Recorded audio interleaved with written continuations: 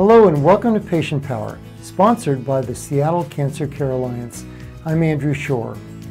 There is a lot of excitement about therapy for blood cancers, in particular, using chimeric antigen receptors, also known as CARs. And there's the hope that this approach can also benefit patients with solid tumors. Helping lead the research is Dr. David Maloney, who's at the Seattle Cancer Care Alliance. Dr. Maloney joins us now. Dr. Maloney, why all the excitement about CARs? Well, you know, I think, uh, Andrew, if we if you think about how the immune system works, uh, the immune system is extremely powerful in fighting off viral infections, and and if we could train the immune system to attack cancer in the same way that it's, for example, t- attacking a virus, then we could have a very potent uh, new therapy, and that's what the excitement is about uh, CAR T cells. Uh, in, in, this in, in this uh, system, basically, we use an antibody, a monoclonal antibody which has specificity for a target, and we modify the T cell to then express that receptor so that the T cell can then attack the, the cancer cell uh, that we're uh, trying to treat. Dr. Maloney, using CAR therapy, I know you had some very promising results in the treatment of someone with lymphoma. Tell us about that result. Well, we've we've just started a clinical trial over about the past seven months uh, here in Seattle, uh, utilizing uh, CAR T cells for a variety of uh, B cell malignancies, and the types of malignancies that we're treating are uh, are B cell tumors that have a target called CD19, and CD19 is on most types of non-Hodgkin lymphoma that are B cell type, and it's also on CLL and acute lymphocytic leukemia that's a B cell type. And so the first step of this is to determine, to try to figure out what the correct cell dose is and to figure out what the to- potential toxicities are. So we're currently doing a phase one study where we're uh, increasing the dose of T cells in patients with these malignancies. So if I've got this right, you're taking the patient's own cells using them outside the body and making a personalized drug and then giving it back to them. Do I have it right? That's exactly the idea. It's a, it's a, I mean, if you look at it, it's a customized therapy. And so, what, how we actually do it is we we see the patients and uh, do a screening test to make sure that they have some T cells in their blood, and then we collect T cells by a process called leukapheresis, where patients go on a a machine that takes blood out of essentially one arm and runs it through a machine and puts the blood back in the other arm and takes off the fraction of cells that contain the T cells. Then in the laboratory, we isolate those T cells and put, put in this receptor and then grow them and, and then give them back to the patient about four or five weeks later. So you're boosting the power of a patient's own immune system to fight the cancer that it missed the first time?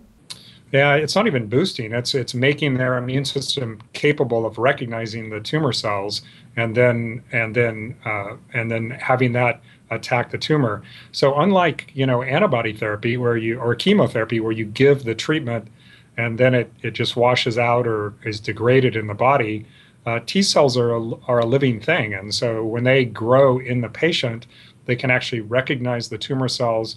That causes the T cells to proliferate causes them to uh, you know kill the tumor. And then if if we're fortunate they they expand and go and continue to go after the after the tumor cells. So they can you know one treatment theoretically could lead to long uh, lasting anti-tumor activity. I know there are patients with solid tumors who are following all this news about cars wondering can it work for them? At your institution what's the intention to see if this research that's been promising in blood cancers can be broadened.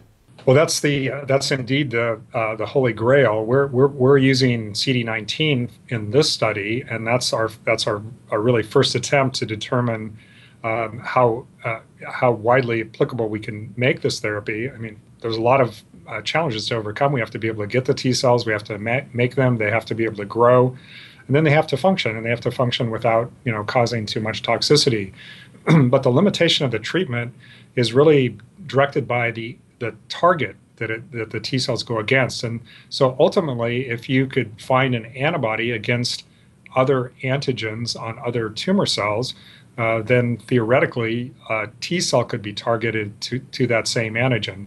And as you know, antibodies have become commonplace in the treatment of many malignancies, including uh, solid cancers, lung cancer, uh, breast cancer, etc. So it, it's not out of the realm of uh, possibility that CAR T cells will be able to be um, uh, directed against those targets. And we're working on that very actively now. don't have any trials up and running yet, but that's soon to follow. Dr. Maloney, I know you've been involved on the very ground floor of development of exciting monoclonal antibodies, rituximab, for example. Do you see CAR therapy as perhaps part of the next wave of cancer therapy?